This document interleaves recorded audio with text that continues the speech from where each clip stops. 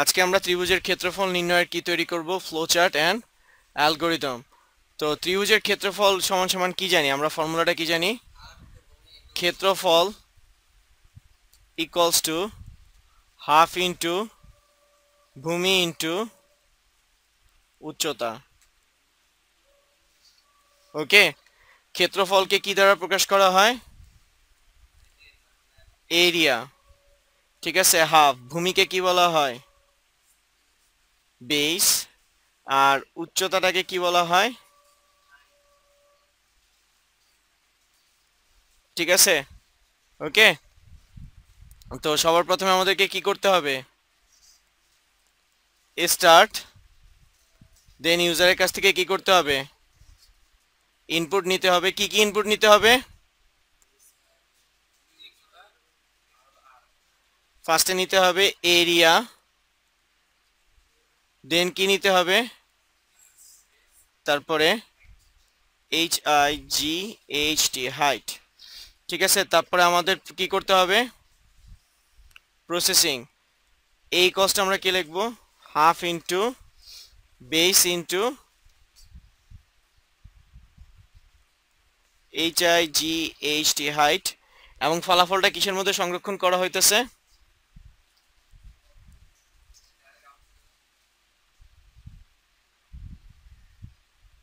আচ্ছা আমরা এখানে কি লিখছিলাম? এরিয়া, না? ঠিক আছে? তাহলে কিসের মধ্যে সংরক্ষণ হইতেছে? এরিয়া। এই প্রোগ্রামে এন্ড লিখতে হবে না? কারণ এখানে কোনো কন্ডিশন আছে? যেটাতে কন্ডিশন না থাকবে, সেটাতে কি লিখতে হবে? এটা একদম সিম্পলভাবে হয়ে গেছে। তো সবার প্রথমে আমাদেরকে কি করতে হবে? স্টার্ট করতে হবে। দেন ইউজারের কাছ থেকে ইনপুট কি কি নিতে হবে? এরিয়া বেস হাইট তো আমরা ফর্মুলাটা কি জানি? Area equals to half into base into area equals to half into base into height পরবর্তীতে ফলাফলটা কিসের মধ্যে সংরক্ষণ হচ্ছে? এরিয়ার ভিতরে। আর লাস্টে প্রোগ্রামটা কি করতেছে? শেষ করতেছে। তো আমরা অ্যালগোরিদমটা করি। অ্যালগোরিদম। তো এটার অ্যালগোরিদমটা কি হবে? সবার প্রথমে এক নাম্বার। স্টার্ট করি। দুই number. input area comma base comma height নেই তিন number sorry area equals to half into into,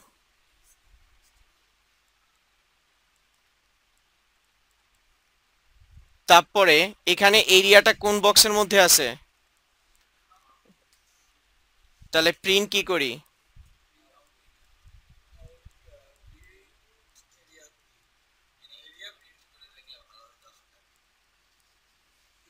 তাও হয়।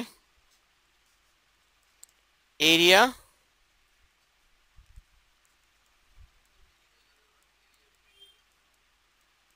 আর লাস্টে কি লিখব? প্রোগ্রাম